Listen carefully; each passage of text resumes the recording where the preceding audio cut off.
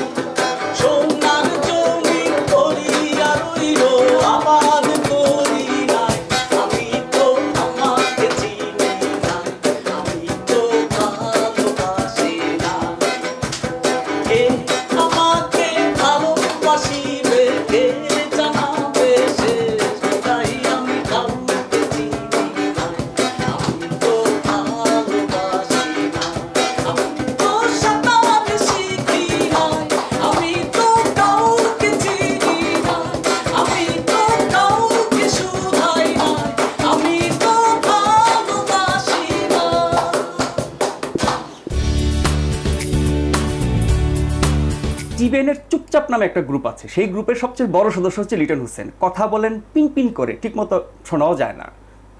অথচ আমি তাকে দিয়ে কত সুন্দর গান গাওয়া সেটাই আমি দেখলাম কিন্তু তুমি পারলে কি করে? এটা আমার কৌশল এটা তো বলা যাবে না। ভাবনিও না এরপরে শিল্পীর নাম কি বলো? নাসরিন আক্তার। অনুষ্ঠান বিভাগের নাসরিন তো? হ্যাঁ এখানে তো একটাই নাসরিন আছে। ওয়ান পিস মেড কারিগর ডেট তো নাসরিন তোমাকে কি শোনালো? অনেক সুন্দর একটি গান। ঠিক আছে শুনি তাহলে।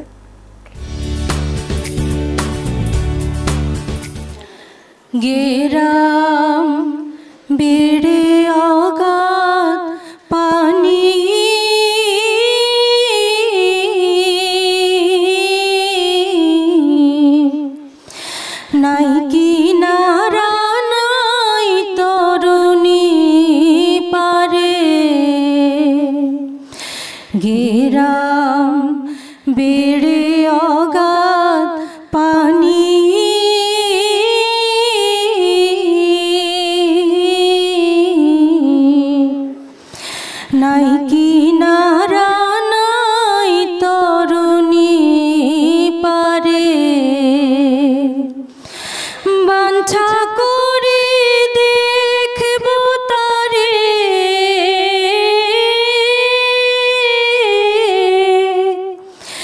만 찾고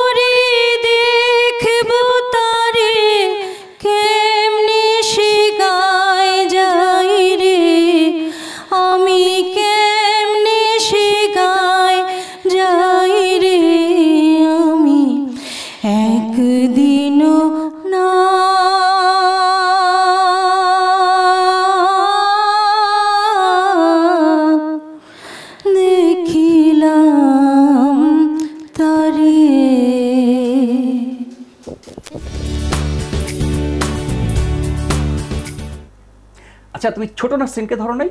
ছোট নাসরিন মানে? ছোট নাসরিন মানে নাসরিনের যে খুব মিষ্টি একটি মেয়ে আমাদের অফিসে আসে এবং সারাক্ষণ আমাদের কাছেই থাকে সেই মেয়েটির কথা বলছি। ও আচ্ছা হ্যাঁ ও তো অনেক সুন্দর কবিতা বলতে পারে। কবিতা আবৃত্তি করেছে ও? হ্যাঁ। দেখি তো তাহলে। ওকে। যে বড় লাল পেরেটিয়ে রং শাড়ি চাও বাটা ভরা পান দেব।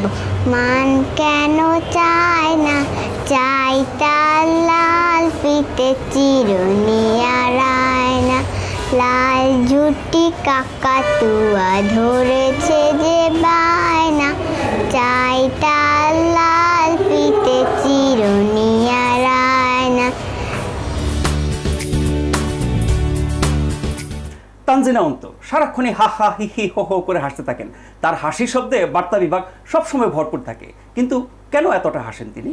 কারণটা শুনুন তার মুখেই।